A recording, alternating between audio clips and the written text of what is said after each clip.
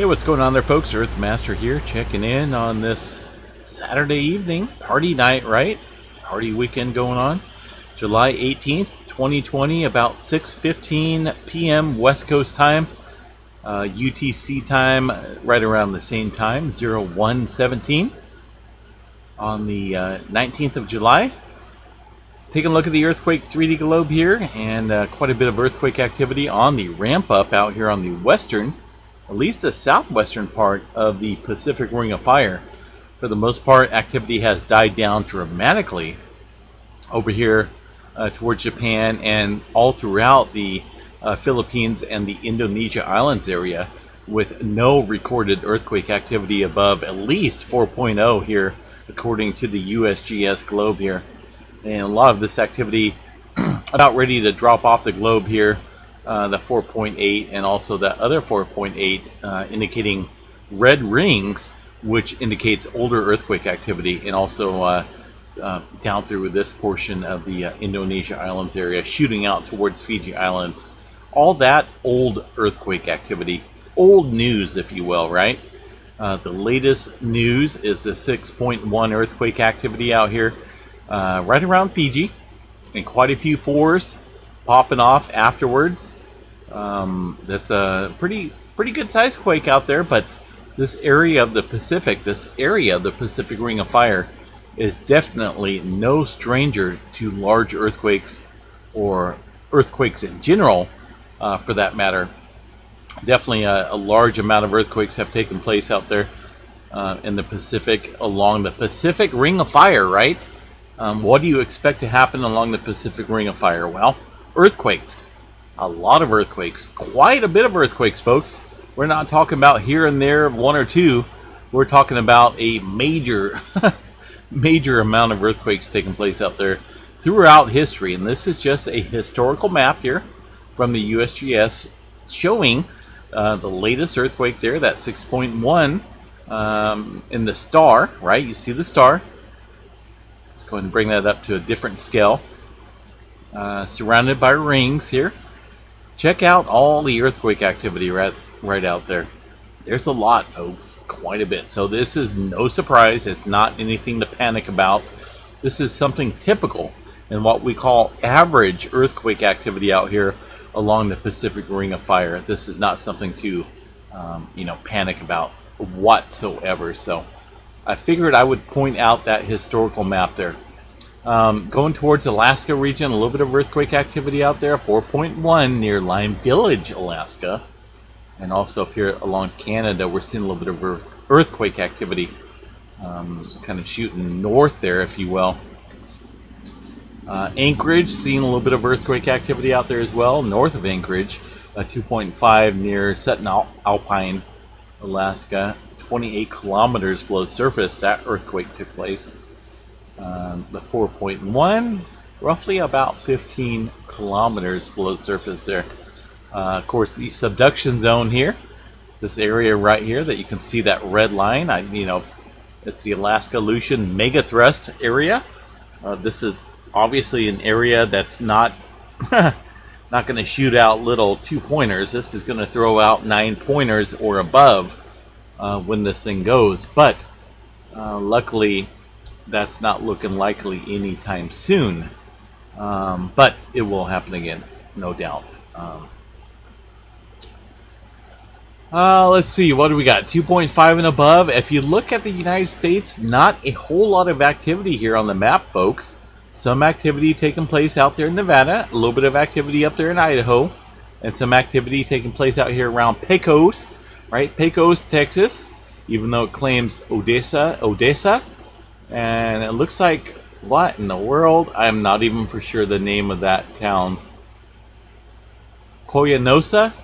I don't know. Maybe I've probably been through there quite a few times because I do storm chase out there quite often. Um, in fact, I was probably out there uh, back in March or April storm chasing around this area, so I may have been through that region. But uh, this activity taking place out there. A lot of fracking operations going on out there. Taking a look globally, aside from the Fiji 6.1 earthquake, A lot of uh, a lot of well, I would say a little bit of activity taking place out here along the Central East Pacific Rise separation zone, if you will. Uh, a couple four pointers um, migrating, if you will, down here along the region. While the western part sees the buildup, this part sees the separate part, if you will. Not a whole lot of pressure being applied out here, but separation is playing a part for sure. Uh, South America region, 4.3 and a 4.7 out here near Chile. Not a whole lot of mega activity going on. Uh, taking a look at the U.S. or at least the Caltech website. Pretty average, folks. Not a whole lot of activity going on out here along the west coast. Looking at the, uh, well, let's go to the uh, Yellowstone seismograph stations here. Most of this activity that you're seeing on the globe here is from the 6.1 magnitude quake showing up on the distant stations such as this, the Yellowstone stations. As far as localized earthquake activity, none to announce.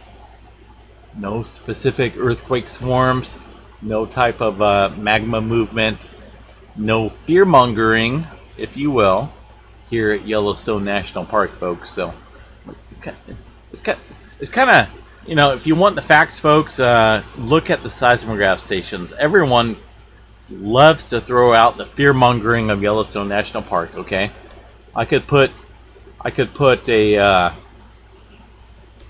a, uh, oh man, I could put a Yellowstone thumbnail with some mega earthquake spikes on it and say, hey, Yellowstone, Yellowstone's about to blow and get a million views on this video. But when I state when I state the facts, when I state that there's no need for panic here along the Yellowstone area, I get like a thousand views. So, you know, fear sells, right? But I'm all about facts, and that's all that matters here on this channel. So, no fear mongering at all. Take that to the other channels, if you will. Uh, let's go ahead and check out the tremor map just for the heck of it. This is the Cascadia Subduction Zone along, well, obviously Vancouver Island, all throughout Oregon and Washington into portions of northern Cal. Right there along that spike is where it ends. A lot of activity up in southern Washington today, but uh, no mega large scale movement or tremor movement along the Cascadia subduction zone. So looking good in that department. Uh, let's see what else we got going on here. Volcanoes, right? A lot of volcanic activity out there. If we didn't have volcanic activity, I think we're gonna be uh, we're gonna be in that S word, and that's not a good place to be at at all. These are um, kind of activity active volcanoes out there along the uh, Pacific and uh, the Eastern Pacific, if you will, through uh, Mexico and it looks like into portions of South America. But we're not going to go into each specific active area, but there's definitely some activity going on out there in the volcanic world, which is, please, oh my gosh, please, please come. We need volcanic activity. If we don't, we're looking at some mega problems out there.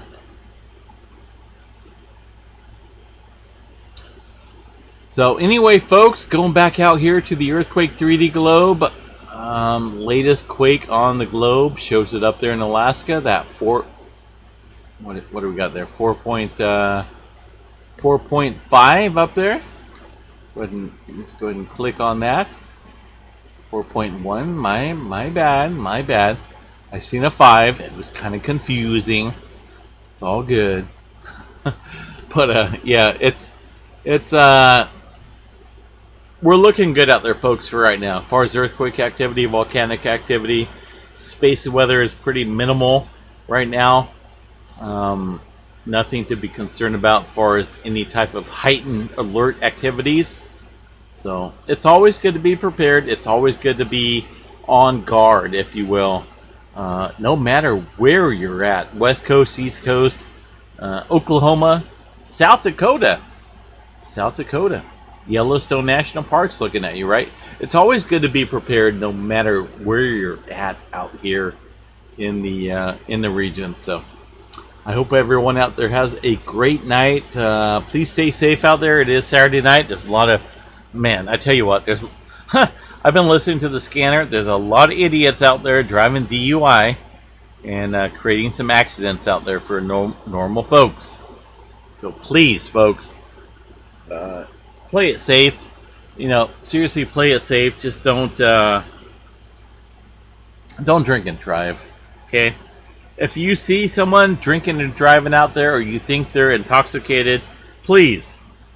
I'm, I'm not even joking. Please don't hesitate to report them in.